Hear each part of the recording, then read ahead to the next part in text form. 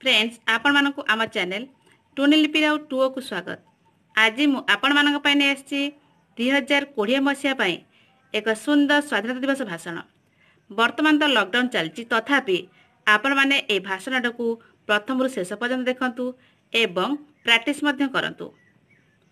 କାରଣ ଏହି ଭାଷଣଟି ଅତି ସୁନ୍ଦର ଏବଂ ସ୍ମୃତି ମଧୁର ଆଉ ଡେରି ନକରି ଆରମ୍ଭ କରିବା ଆଜିର ଏହି ସୁନ୍ଦର ଅଭିଭାଷଣଟିକୁ। ପ୍ରଥମେ ସୁପ୍ରଭାତ।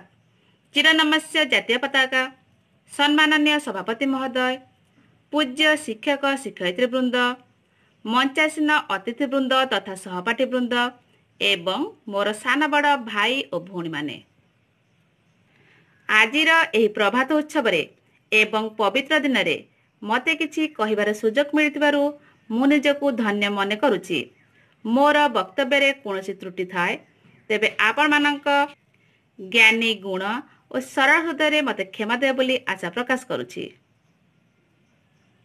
ଆଜି ସମଗ୍ର ଭାରତବର୍ଷରେ ଆବାଳ ବୃଦ୍ଧ ବନିତା ସମସ୍ତଙ୍କ ହୃଦୟରେ ନୂଆ ଉନ୍ମାଦ ଉତ୍ସାହ ଓ ଉଲ୍ଲାସ ଭରି ଉଠିଛି।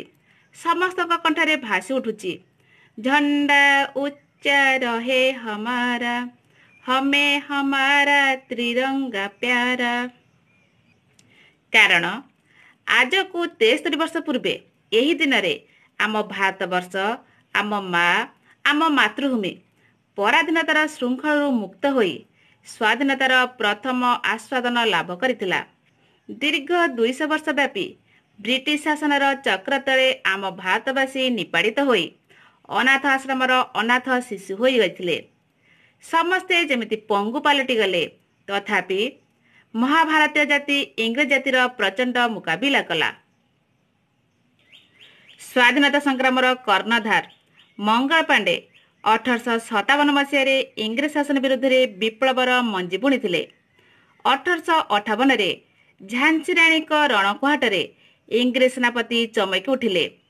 ଖୁଦିରାମ ଭଗତ ସିଂ ଚନ୍ଦ୍ରଶେଖର ଆଜାଦ ସ୍ୱାଧୀନତା ପାଇଁ ହସି ହସି ଫାଶୀ ଖୁଣ୍ଟରେ ଝୁଲି ପଡ଼ିଲେ।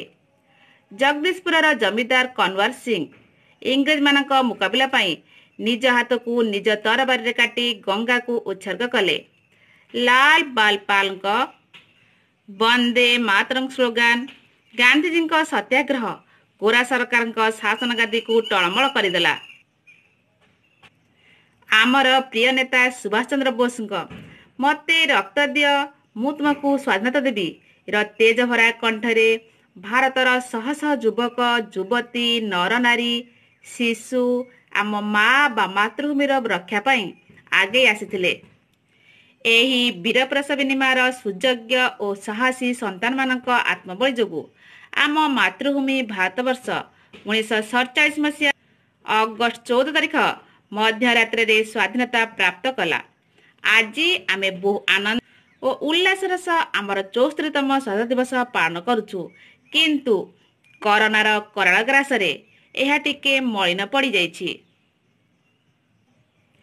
ଚୀନର ଉହାନ ସହରରୁ ଏହି କରୋନା ଭାଇରସ ଉତ୍ପତ୍ତି ହୋଇ ବିଶ୍ୱର ଦୁଇଶହରୁ ଅଧିକ ଦେଶରେ ତାହାର କାୟା ବିସ୍ତାର କରିଚାଲିଛି ଆମ ମାତୃଭୂମି ଆମ ଦେଶ ଭାରତବର୍ଷ କରୋନାର କାୟାରେ ମୁକ୍ତି ପାଇପାରୁନାହିଁ ଫଳସ୍ୱରୂପ ଆମ ଦେଶର ଅର୍ଥନୈତିକ ଅବସ୍ଥା ଦୁର୍ବଳ ହୋଇ ଚାଲିଛି ତାହା ସହିତ ଦେଶରେ ବେକାରୀ ସମସ୍ୟା ଓ ମାନସିକ ଦୁଶ୍ଚିନ୍ତା ବଢ଼ି ଚାଲିଛି।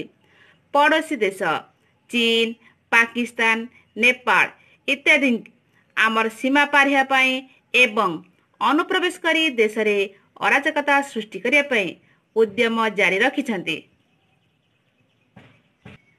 କିନ୍ତୁ ମୁଁ ଓ ସମସ୍ତ ଭାରତବାସୀ ଏହି ଜାତୀୟ ପତାକା ତଳେ ଶପଥ ନେବା ଆମେ ଏକ ହୋଇ ଶତ୍ରୁର ଉତ୍ତୁଙ୍ଗ ଦର୍ପକୁ ଭୁଲୁଣ୍ଠିତ କରିବା। ୟୁନିୟନ ଇଜ୍ ଷ୍ଟ୍ରେନ୍ଥ ଅର୍ଥାତ୍ ଏକତା ହିଁ ବଳ। ଏକତା ଯେ ଏକ ମହାନ ଶକ୍ତି ତାହା ଭାରତବାସୀ ହୃଦୟଙ୍ଗମ କରି ମହାଭାରତୀୟ ଆଦର୍ଶରେ ଏକତାବଦ୍ଧ ହୋଇ କରୋନା ମହାମାରୀକୁ ମୁକାବିଲା କରିବା। ପ୍ରଧାନମନ୍ତ୍ରୀଙ୍କ ଆତ୍ମନିର୍ଭର ଭାରତ ଅଭିଯାନ କାର୍ଯ୍ୟକ୍ରମରେ ସହଯୋଗର ହାତ ବଢ଼ାଇ ଭାରତବର୍ଷକୁ ସୁନ୍ଦର କରି ଗଢ଼ି ତୋଳିବା।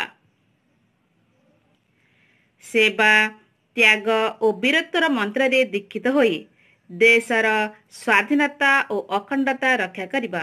ମୁଁ ଏତିକି କହି ମୋର ବକ୍ତବ୍ୟ ଶେଷ କରୁଛି। ଜୟ ହିନ୍ଦ ଜୟ ଭାରତ। ଆପଣମାନଙ୍କୁ ଏ ଭିଡ଼ିଓଟି କିପରି ଲାଗିଲା ସେ ମତାମତ ଦିଅନ୍ତୁ। ଭଲ ଲାଗିଲେ ଆମର ଏହି ଭିଡ଼ିଓଟିକୁ ଲାଇକ୍ କରନ୍ତୁ ସାଙ୍ଗମାନଙ୍କ ସହିତ ସେୟାର କରନ୍ତୁ। ଯଦି ସବସ୍କ୍ରାଇବ୍ କରିନାହାନ୍ତି ତାହେଲେ ପ୍ଲିଜ୍ ସବସ୍କ୍ରାଇବ୍ କରିନିଅନ୍ତୁ। କାରଣ ଏହାପରେ ଆହୁରି ସୁନ୍ଦର ସୁନ୍ଦର ଭିଡ଼ିଓ ଅପଲୋଡ଼ ହେବ ଜୟ ଜଗନ୍ନାଥ